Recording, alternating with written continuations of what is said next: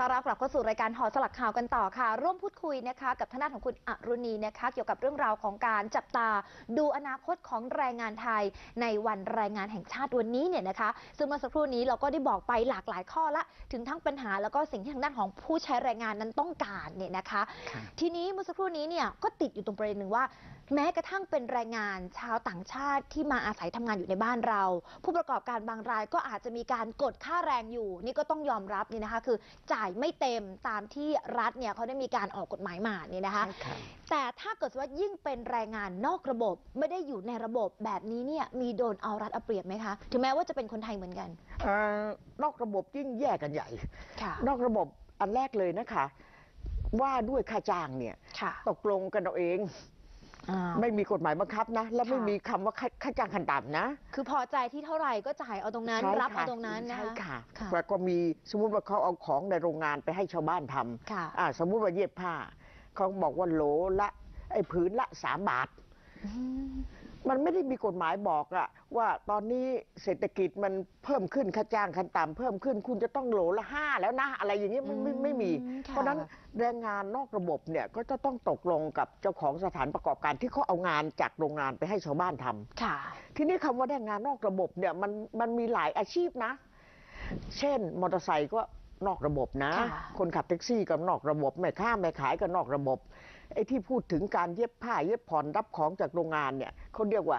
รับของจากสถานประกอบการเนี่ยไปให้ชาวบ้านทำหรือเจ้าของเจ้าส่วนใหญ่โรงงานน่ะค่ะของบางอย่างเนี่ยก็ให้ทำนอกระบบทำอืมให้ชาวบ้านไปลงทุนเองนะคะค่ะแล้วก็ไปเสี่ยงเอง บางทีก็มีความไม่ไม่ปลอดภัยในการทำงานอะอืมกฎหมายก็ไม่บังคับสมมติเย็บผ้าขนหนูริม คือโรงงานผ้าขนหนูก็ทอมาค่ะยิมริมริมเนี่ย เขาก็ไปให้ชาวบ้านทำค่ะเอาไปโดนเข็มเนี่ย ถ้าเป็นคนงานในระบบเนี่ย มันจะมีกฎหมายกองทุนทดแทนอืมรักษาพยาบาลคุ้มครองอ่าอ่รักษาพยาบาลฟรีฟรีค่ะไม่ได้เสียตังค์ แต่ถ้าเกิดเป็นชาวบ้านธรรมดาอ่านอกระบบทั่วไปนี่นะออเสียตังค์เอง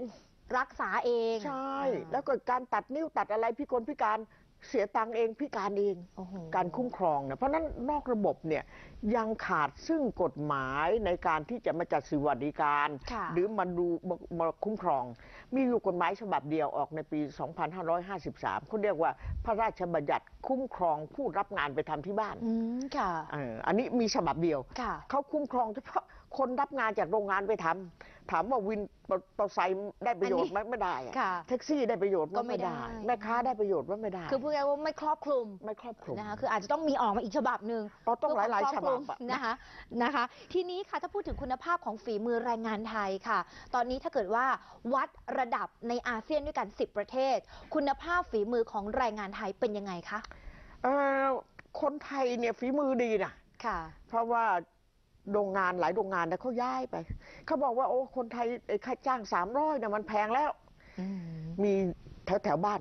เขาย้ายไปโรงงานผลิตพวกชิ้นส่วนอิเล็กทรอนิกส์อะค่ะมีคนงานต้องสี่พันอยู่ๆมีคนงานเหลือเจ็ดร้อยพี่อรุณีก็ไปดูเขาบอกเอ๊ะแล้วเท่าเท่าแก่เขาไปไหนอะเขาบอกย้ายไปประเทศลาวค่ะตอนนี้ย้ายกลับอีกแล้วอืมเพราะว่าของที่ไปผลิตที่ประเทศลาวเนี่ยไม่ไม่ค่อยได้เกรดเออะ อ๋อผลิตจากแรงงานไทยที่เมืองไทยเนี่ยเกรดจะดีกว่า ความความปราณีตความเอาใจใส่หรือฝีค่ะคือฝีมือดีกว่าน่ะคุยแบบอ๋อแบบลูกทุ่งอะค่ะ เขาหนีค่าแรงสามร้อยไปไปผลิตที่ประเทศลาวไปมาแล้วนะคะไอ้ตอนนี้กลับแล้วสุดท้ายต้องกลับมาอ่าแล้วต้องมาเรียกลูกจ้างเก่าๆกลับมาทำงาน อืม นี่ตัวอย่างหนึ่งนะคะ ค่ะ แสดงว่าหลาย ๆ ประเทศในอาเซียนเนี่ย ฝีมือสู้คนไทยไม่ได้ อืมฝีมือของคนไทยยังละเอียดใช่โดยเฉพาะอย่างยิ่งอุปกรณ์อิเล็กทรอนิกส์ใช่หรือว่าอุปกรณ์ที่เกี่ยวกับเครื่องยนต์นี่นะคะใช่ นะคะ องค์ประกอบต่างๆ ของเครื่องยนต์อะไหล่อะไรอย่างเงี้ยนะคะ ก็ฝีมือคนไทยจะดีกว่านะคะใช่ค่ะใช่อ่าค่ะทีนี้มาสรุปสุดท้ายค่ะ สิ่งที่เราอยากจะหามาตรการเพื่อที่จะช่วยยกระดับคุณภาพชีวิตของแรงงาน แล้วอยากจะให้ภาครัฐรวมไปถึงหน่วยงานที่เกี่ยวข้องเข้ามาช่วยเหลือ นะคะ เรื่องเร่งด่วนสัก4ี่ห้าเรื่องมีอะไรบ้างคะ อันแรกเลยค่ะและถูกใจมากมาช่องนี้จะมาคุยอันแรกเลย ค่ะ สินค้ามันแพง ค่ะ อยากให้มีกลไกในการควบคุมเครื่องอุปโภคบริโภคอะอืมเดี๋ยวนี้ของกินแพงมากค่ะน่ะปลาสปลานินตัวหนึงเจ็ดสิบบาทอะโอ้โหโอ้โหตาย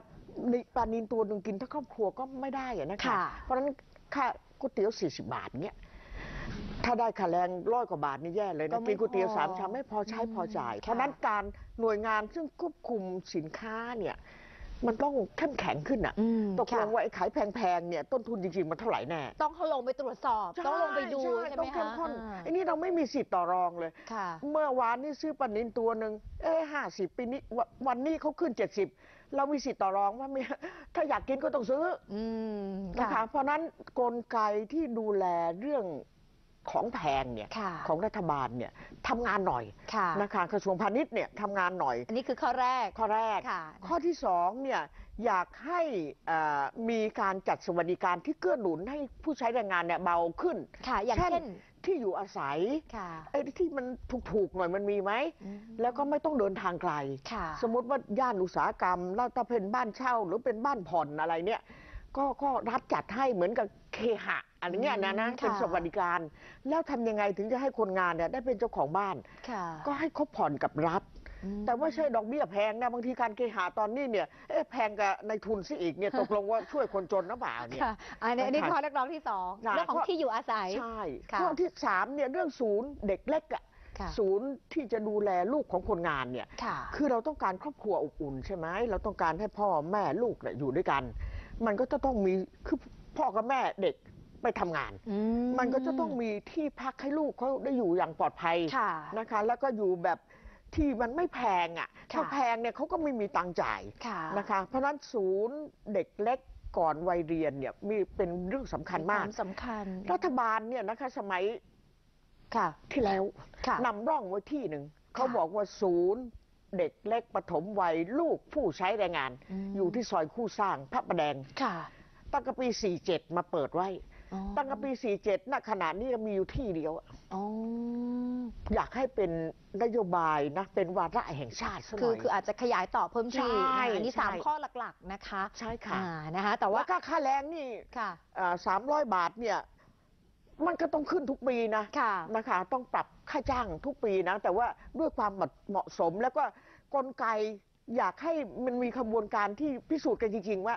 คนคนหนึ่งเนี่ยทั้งกินข้าวทั้งปัจจัยสีทั้งหลายมัเนี่นยใช้เยอะนะต่อวัน เท่าไหร่กันแน่ อ่านะคะ เพราะฉะนั้นเนี่ยถ้าก็เห็นด้วยถ้าเกิดว่าการปรับขึ้นค่าแรงจะมีเพิ่มขึ้นทุก ๆ ปีใช่ค่ะสำหรับผู้ใช้แรงงาน ใช่ค่ะ เพื่อเป็นการสร้างขวัญและกำลังใจให้ให้สำหมีรับคุผู้ณใช้แรภาพงงานชีวิตด้วยแค่กินข้าวอิ่มอะ ค่ะนะคะเอาละค่ะ และนี่ก็คือนะคะ ประเด็นหอสลักข่าวในคืนนี้นะคะคุณผู้ชมก็เป็นกำลังใจนะคะ ให้สำหรับพี่น้องผู้ใช้แรงงานไทยทั่วประเทศ แล้วก็ทุกคนด้วยเนี่ยนะคะ ให้มีกำลังใจในการทำงานต่อไป แล้วก็เชื่อว่าหน่วยงานที่เกี่ยวข้องนั้นก็คงจะไม่ละเลย ในการที่จะเข้าไปช่วยเหลือนะคะ แล้วก็ยกระดับคุณภาพชีวิตของผู้ใช้แรงงาน แล้วก็รวมไปถึงนะคะ ความเห็นใจจากทางด้านของผู้ประกอบการแล้วก็นายจ้างด้วยนะคะ วันนี้กราบขอบพระคุณแขกรับเชิญของเราค่ะ คุณอรุณีศรีโตนะคะนายกสมาคมส่งเสริมสิทธิชุมชนเพื่อการพัฒนาขอบพระคุณค่ะและทั้งหมดนี้ก็คือรายการหอสลักข่าวในคืนนี้ค่ะ หมดเวลาแล้วนะคะ วันนี้ดิฉันพร้อมกับคุณอรุณีนะคะ และทีมงานต้องลาคุณผู้ชมไปก่อนนะคะ กลับมาพบกันได้ใหม่ในวันพรุ่งนี้เวลาเดียวกันนี้ วันนี้ขอบพระคุณมากๆสำหรับการติดตาม สวัสดีค่ะ